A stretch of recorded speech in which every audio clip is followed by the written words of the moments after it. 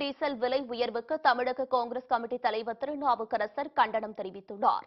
இது தொடர்பாக அவர் விடுத்துள்ள அறிக்கையில் சர்வதேச சந்தையில் கச்சா எண்ணெய் விலை குறைகிற போது பெட்ரோல் டீசல் விலையை குறைக்கிற நடவடிக்கையை இதுவரை மத்திய அரசு எடுத்ததில்லை என குறிப்பிட்டுள்ளார். நியாயமாக வரி குறைப்பு நடவடிக்கை எடுத்திருந்தால் இன்றைக்கு ஒரு லிட்டர் டீசல் விலை ஐம்பத்தி எட்டு ரூபாய் இருபத்தி எட்டு காசில் இருந்து முப்பத்தி இரண்டு ரூபாயாக குறைக்கப்பட்டிருக்க வேண்டும். ஆனால் மக்கள் நலனில் அக்கறை இல்லாத பாஜக அரசு தொடர்ந்து பெட்ரோல் டீசல் விலையினை உயர்த்தி எடுத்திருக்கும் இந்த மக்கள் விரோத நடவடிக்கையினை காட்டுவதாக உள்ளதாகவும் அவர் விமர்சித்துள்ளார்.